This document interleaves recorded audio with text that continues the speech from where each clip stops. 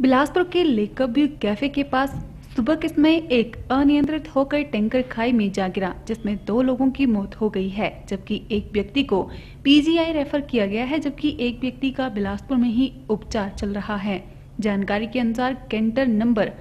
C H शून्य एक TB दो छह दोनों चंडीगढ़ से मंडी सुंदरनगर टेंट का सामान लेकर जा रहा था कि लेकेब्यू के पास अनियंत्रित होकर खाई में जा लुढ़का जानकारी के अनुसार इस कैंटर में चार लोग मौजूद थे। ये घटना सुबह के समय चार बजकर पैंतालीस मिनट के आसपास बताई जा रही है और पुलिस से मिली जानकारी के अनुसार चालक गाड़ी को तेज रफ्तार में चला रहा था, जिसके कारण ये घटना घटी है। पुलिस ने मुकदमा दर्ज कर आगामी कार्रवाई शुरू कर दी है तथा शवों को पोस्टमार्टम के लिए बिलासपुर अस्पताल भेज दिया गया है।